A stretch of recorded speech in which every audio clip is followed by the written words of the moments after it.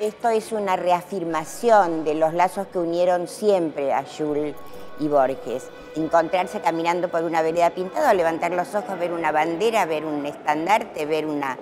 escultura lumínica, todo eso es, creo que maravilloso para que la gente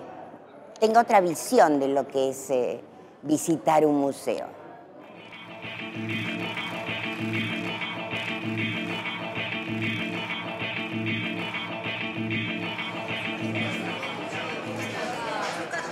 Qué mejor que el arte,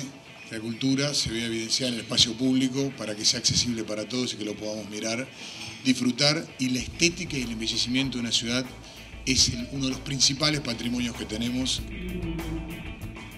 No podían faltar mágicas interpretaciones en el homenaje a estos seres tan increíbles que compartieron parte de un siglo con sus oníricas y proféticas visiones, en el caso de Jules,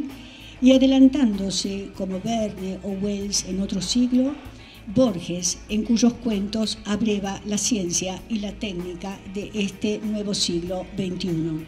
Gracias a, a Mariano, a Daniel, a Graciela, a Luis, a los artistas. Todo esto pasa y de todo esto disfrutamos por los artistas por este caso, por los artistas que van a embellecer el espacio público entre las dos fundaciones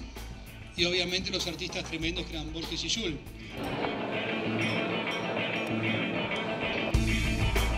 acá empieza el recorrido